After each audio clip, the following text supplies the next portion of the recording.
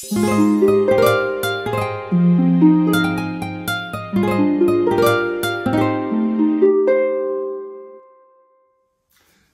meine lieben Märchenfreunde, ich freue mich, dass ihr wieder bei mir reinschaut. Heute zum 4. November erzähle ich euch die Geschichte von Aregnasan aus Armenien. Die Geschichte geht so. Vor langer Zeit, als der Erdball noch voller Wunder war, aber die guten und bösen Geister bereits Krieg untereinander führten und die Bösen den Menschen viel Schaden zufügten, während die Guten Wunder vollbrachten, lebte am Fuße des Berges Ararat ein Fürst, Arman geheißen. Seine Frau war ihm gestorben. Seine drei Töchter waren alle schön und klug, aber die jüngste war die klügste und schönste von allen. Die guten Geister hatten beschlossen, sie später, wenn sie es wünschte, zum Mann werden zu lassen, denn der Fürst hatte sich vergeblich einen Sohn gewünscht. Da ihm der Geisterspruch bekannt war, freute er sich darauf. Ich werde sie trotzdem genauso erziehen wie meine zwei älteren Töchter, beschloss er. Ich werde sie auch als Mädchen kleiden, falls sie doch lieber ein Mädchen bleiben will. Die älteste Tochter hieß Sama, Samanasan, die mittlere Samasan und die jüngste Areknasan. Obgleich sie als Mädchen heranwuchs, verachtete sie jede weibliche Arbeit und zeigte mehr Lust zum Reiten, vergnügte sich mit der Jagd und focht sehr gern. Der Fürst lehrte sie auch mit Ross und Waffen umzugehen, damit sie mutig und unerschrocken werde. Eines Tages berief der Fürst seine drei Töchter zu sich und sagte, Liebe Kinder, ich habe unserem Kaiser ehrlich und treu gedient. Nun bin ich alt und kann ihm nicht mehr beistehen. Ihr aber seid jung und gesund. Wer von euch will, als Junge gekleidet, zu ihm gehen und ihm dienen? Oh, ich, rief die Älteste. Nein, lieber ich, schrie die Zweite. Nur die Jüngste schwieg. Nun, Töchterlein, fragte der Fürst, und du hast keine Lust? Warum sollte ich nicht auch hingehen? sagte Arachnisan gelassen. Nun gut, sagte der Fürst, so müsst ihr euch alle drei einer Prüfung unterziehen. Was sollen wir tun? fragten die Töchter. Ihr sollt alle drei nacheinander am frühen Morgen, bevor die Hähne krähen, in unseren Wäldern jagen. Und wer mit Wild zurückkommt, der darf zum Kaiser reiten. Samanasan suchte sich das beste Pferd und Jägerkleidung, nahm Waffen mit sich und zog pünktlich am anderen Morgen fort. Im Wald aber erblickte sie einen maskierten Jäger. Von Kopf bis zu den Füßen war er mit schweren Waffen behangen. Er ritt auf sie zu und schrie mit Schreck und schrie sie mit schrecklicher Stimme an. Jüngling, schöner Jüngling, wohin des Wegs? Das Mädchen erschrak und stotterte. Ich kenne den Weg nicht, kenne ihn nicht, aber kehre ich um, so werde ich als untauglich erklärt. So kehre sofort um, wenn du den Weg nicht weißt, oder ich gebrauche mein Schwert, schrie er und zog das Schwert aus der Scheide. Das Mädchen begann sofort zu schreien. Tu mir nichts, tu mir nichts, ich bin doch nur ein armes Mädchen. Dann kehr heim, füttere die Hühner und stopfe Strümpfe. Mädchen haben im Wald nichts zu suchen. Es genügt nicht, sich als Mann zu verkleiden. Man muss auch ein Männerherz haben. Nach diesen Worten verschwand der Reiter. Daheim wunderte sich der Vater, als sie zurückkam und fragte, warum schon hier und warum bringst du kein Wild? Ach, ein Fieber ergriff mich unterwegs, stammelte das Mädchen. Am anderen Morgen zog sich die zweite Tochter als Jägerin an, bestieg ihr Ross und ritt in den Wald. Aber es erging ihr nicht besser als der Ältesten. Auch sie kehrte mit leeren Händen zurück. Da kam der Morgen für Arachnasan. Ja, der Vater selber half ihr, die Rüstung anzulegen und sie ritt rasch davon. Kaum ist sie im Wald, da erblickt sie von einer Flucht aus den maskierten Reiter. Er fragt auch sie, wohin des Weges? Was geht dich mein Weg an? Gib ihn frei, du Räuber. Diese Worte solltest du mit deinem Leben büßen, schrie der fremde Reiter. Ich bin kein Räuber, der deinen Weg versperrt. Dass du ein Räuber bist, zeigt deine Maske. Aber was für einer, das werden erst deine Waffen zeigen, antwortete Arachnesan gelassen. Über eine Stunde dauerte ihr Zweikampf. Keiner gab nach. Die Kräfte des Maskierten ließen zuerst nach. Die Kräfte Arachnesans blieben frisch. Endlich hatte sie ihn aus dem Sattel gehoben und zu Boden geworfen. Da öffnete er sein Visier und jetzt erkannte Arachnesan ihren Vater. Sie erschrak, aber er zog sie an sein Herz und rief, nun hast du bewiesen, dass du mir einen Sohn ersetzen kannst. In deiner Brust schlägt ein kühnes Herz. Reite getrost zum Kaiser und tritt bei ihm in den Dienst. Dann erhoben sich beide und ritten in den Palast zurück. Am nächsten Morgen rüstete sich Aratasan zur Reise und erreichte glücklich den Kaiserhof. Dort stellte sie sich als Arek, Sohn des Fürsten Arman, vor. Ich wusste nicht, dass der Fürst auch einen Sohn hat. Sei mir willkommen. Der Kaiser hatte eine einzige Tochter.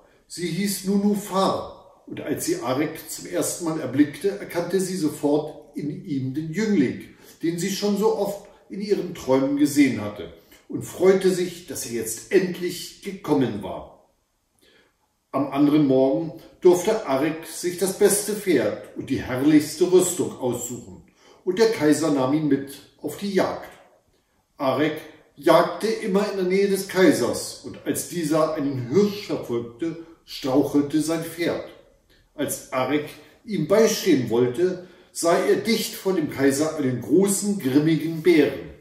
Der hatte schon zum Sprung angesetzt, als Arek wie ein Pfeil heransprang und den mächtigen Schädel des Bären mit einem Schwertstreich spaltete. Der Kaiser umarmte Arek und dankte ihm. Er war der Held des kaiserlichen Hofes geworden. Die Neider aber, die dem jungen neuen Höfling das Ansehen nicht gönnten, schmollten und erzählten überall, auch sie hätten den Kaiser retten können. Aber als sie ins Schloss zurückkamen, konnten sie nicht verhindern, dass das Volk ausrief, Lang lebe der Kaiser! Und gleich darauf, Lang lebe der mutige Retter Arek! Der zum ersten Mal seufzte Arek und dachte, ach, wäre ich doch wirklich ein Mann. Der Kaiser aber umarmte ihn zum zweiten Mal und sagte, ich will dich wie meinen Sohn und einen echten Prinzen halten, und du kannst dir von mir wünschen, was du willst. Nunufar aber bewunderte Arik nun noch viel mehr. Sie sah ihn mit brennenden Augen an und hoffte, er würde als Lohn ihre Hand erbitten. Da Arek sich aber nicht nach ihr umsah, beschloss sie, ihn heimlich am Abend zu sich zu holen. Warum sollte sie das auch nicht? Konnte sie ihm noch nicht einmal allein für die Errettung ihres Vaters danken? Sie klatschte in die Hände und befahl ihrer Dienerin, Arek zu sich zu rufen. Die Dienerin richtete die Botschaft aus, aber Arek sagte, nein, ich komme nicht. Warum willst du nicht kommen, Herr? Meine Herrin bittet dich so sehr. Hast du nicht gesehen, wie schön sie ist? Oh, wäre ich doch ein wirklicher Mann, überlegte Arek zum zweiten Mal. An diesem Tage und abermals sagte er, ich will nicht, das genügt. Die Dienerin richtete es so aus, wie Arek es gesagt hatte, und Nunufar erschrak vor Kummer und Aufregung darüber. Die Dienerin versuchte ihre Herrin zu trösten. Sicherlich schämte er sich vor der Tochter des Kaisers. Er errötete wie eine Rose und wurde dabei noch viel schöner. Darüber erkrankte die Kaisertochter nur noch viel mehr. Der Kaiser beriet, berief die besten Ärzte. Sie, untersuch, sie untersuchten sie, sie konnten aber keine Krankheit feststellen. Die Frau des verstorbenen Ministers wurde als Krankenwärterin zur Prinzessin berufen. Sie hatte einen einzigen Sohn und sie hoffte so lange, dass dieser dereinst der Schwiegersohn des Kaisers und der Gemahl der Prinzessin werden sollte. Darum pflegte sie die Prinzessin sehr sorgfältig. Eines Tages nun kam der kaiserliche Spaßmacher herein und fragte, Prinzessin, was gibst du mir, wenn ich dich heile? So sage es mir, jammerte die Kaisertochter. Da fragte sie der Spaßmacher, wenn du von eins, wenn du von zwei eins wegnimmst und nachher wieder eins zulegst, werden es dann wieder zwei? Aber bestimmt, sagte die Prinzessin, wenn ich von zwei Äpfeln einen gegessen habe und wieder einen neuen dazu tue, so habe ich doch wieder zwei. Ach, ich dachte, lachte der Spaßmacher, was gegessen ist gegessen, was verloren ist verloren, was geliebt ist unersetzbar. Warum schätzt sonst die Frau des Ministers Wit warum wäre sonst die Frau des Ministers Witwe geblieben? Nicht jeder kann ihr den Mann, den sie liebte, ersetzen. So wird auch euch die Frau des Ministers wenig helfen. Gebe man aber Arek zu Nunufa, so würdest du gesund. Kaum hatte der Narr ausgesungen, so machte er einige Sprünge und lief fluchtartig davon. Die Frau des Ministers aber, die Nunufa für ihren Sohn haben wollte, erschrak bei diesen Worten und beschloss, Arek aus dem Weg zu räumen. Am nächsten Morgen begab sie sich zum Kaiser und sagte, Seit heute Nacht weiß ich, wie Nunufa zu heilen ist. Im Traum sagte eine Stimme zu mir, wenn Arek ihr das Wasser des Lebens holte, wurde sie sofort gesund. Als der Kaiser das gehört hatte, rief er Arek zu sich und bat ihn, Liebster Arek, wenn du mir eine Flasche vom Wasser des Lebens holst, so bekommst du mein ganzes Reich und meine Tochter dazu. Gebieter, entgegnete Arek, auch ohne das Versprechen will ich es holen. Aber wo ist es zu finden? Das weiß ich auch nicht. Die guten Geister mögen es dir enthüllen. Wende dich mit dem Gesicht nach Westen, durchreise viele Länder und viele Königreiche. Und findest du das Wasser des Lebens nicht, so wird deine Mühe auch nicht umsonst sein. Denn dann hast du viel gesehen und viel gelernt. Arek nahm sein Pferd das in einem Tag eine viertägige Strecke durcheilen konnte und zog gen Westen.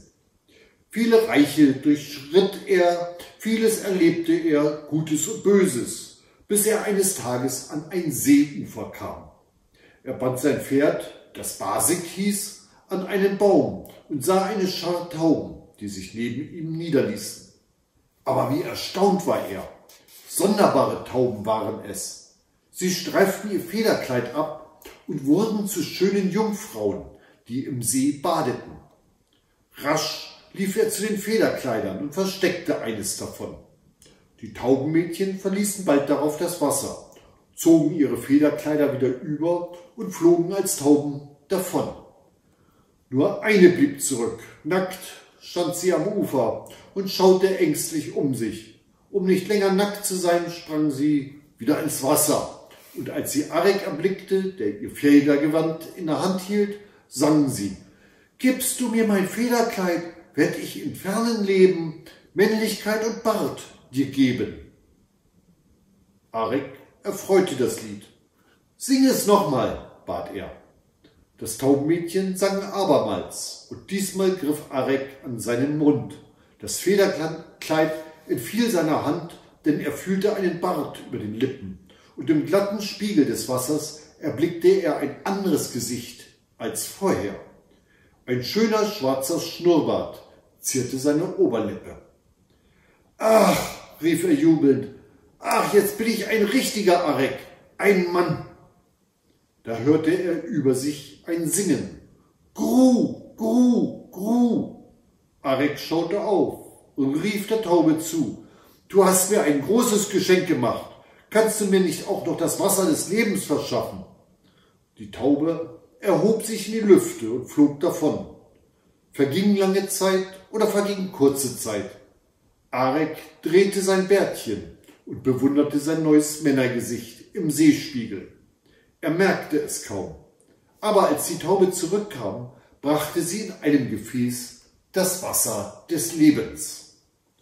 Da zog Arek vergnügt und zufrieden seines Weges. Er wollte rasch zurück, denn jetzt brauchte er Nunufa nicht länger ausweichen. Jetzt war er ja kein Mädchen mehr, sondern ein Mann, der sie heiraten konnte. Aber vor Freude achtete er nicht auf den Weg. Und plötzlich stand er unvermittelt vor den Türmen und Häusern einer großen fremden Stadt. Vor dem Stadttor sah er eine Wache. Er fragte sie nach dem Namen der Stadt und nach einer Herberge, aber die Wache gab keine Antwort. Und als er sie anstieß, merkte er, dass sie versteinert war. Mutig trat er in die Stadt ein und entdeckte sehr bald, dass die ganze Stadt versteinert war. Bei jedem Schritt, bei jeder Wendung erblickte er neue versteinerte Menschen, sitzend, stehend oder liegend. Er kam auf einen Markt. Der Händler und der Käufer standen nebeneinander, ihre geöffneten Geldbörsen in der Hand. Versteinert war alles, was er sah. Da schrie er, Huhu, in der Hoffnung, irgendeine Antwort zu hören. Endlich erklang von fern ein Echo. Er horchte und vernahm schließlich die Worte Verstei, verstei. Nun ging er der Stimme nach und kam zu einem Palast. Auch hier war alles zu Stein erstarrt. Selbst der Strahl des Springbrunnens war versteinert. Die Blumen noch frisch in den Farben, versteinert waren auch sie. Aber endlich fand er im Garten einen Mann, der nur zur Hälfte versteinert war. Wasser, Wasser, lallte er, kaum hörbar. Aber auch das Wasser war versteinert. Da besann sich Arek, dass er ja das Wasser des Lebens bei sich trug. Er griff zu dem Gefäß. Trinkt, sagte er, trinkt, und rasch flößte er dem Manne vom Wasser des Lebens ein.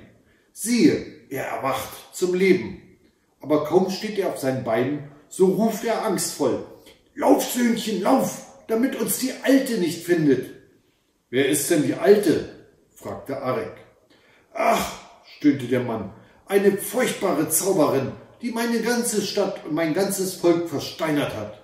Ich war der Kaiser der Stadt und mich hat sie nur zur Hälfte versteinert, damit sie mich täglich quälen kann.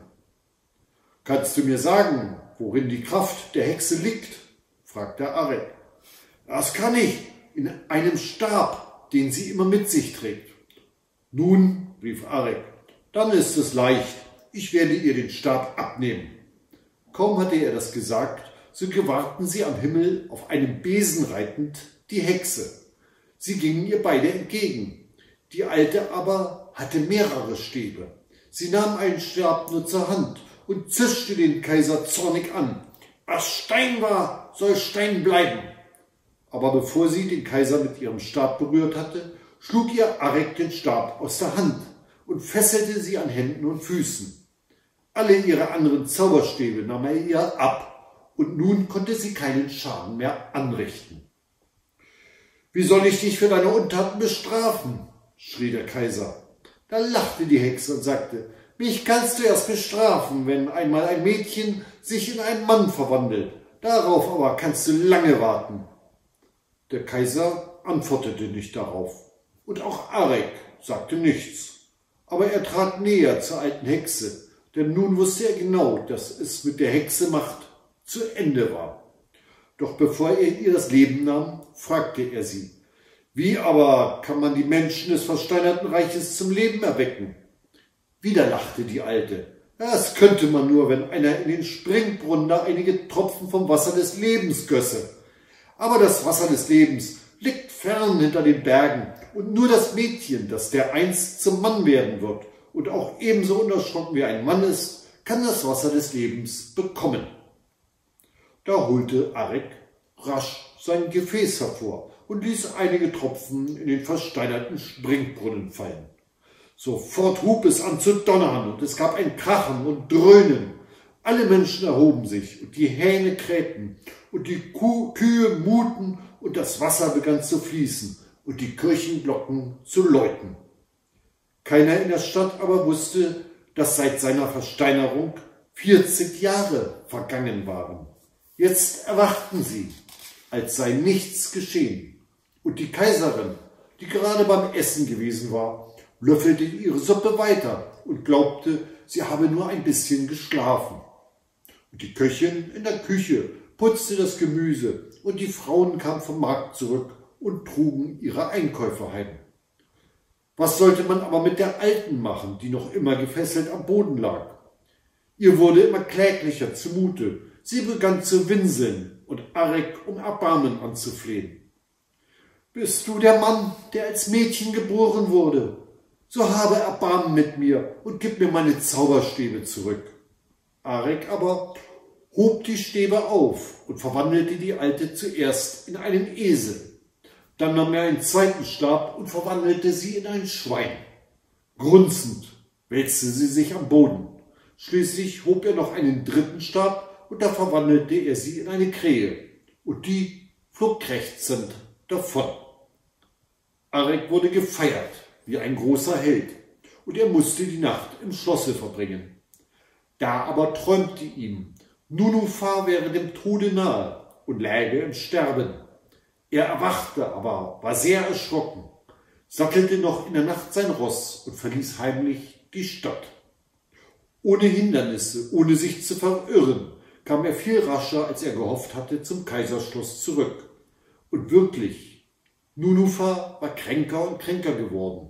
So sehr grämte sie sich, weil die Frau des Ministers Arek nach dem Wasser des Lebens geschickt hatte. Sie hatten schon alle Hoffnung aufgegeben, ihn je wiederzusehen. Arek aber sprang sofort von seinem Ross und eilte nach den Gemächern der Kaiserstochter. Er träufelte ihr vom Wasser des Lebens ein.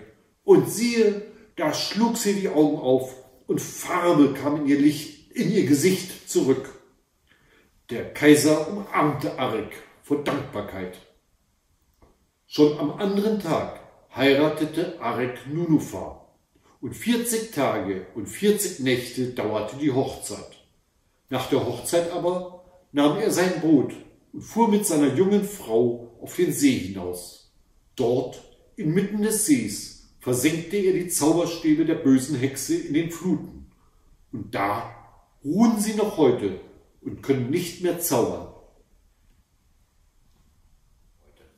Wenn euch das Märchen gefallen hat, gebt mir ein Like Schreibt hier unten etwas in die Kommentare und abonniert meinen Kanal, wenn ihr mögt. Macht es gut, bis zum nächsten Mal und verliert nie euren Zauber.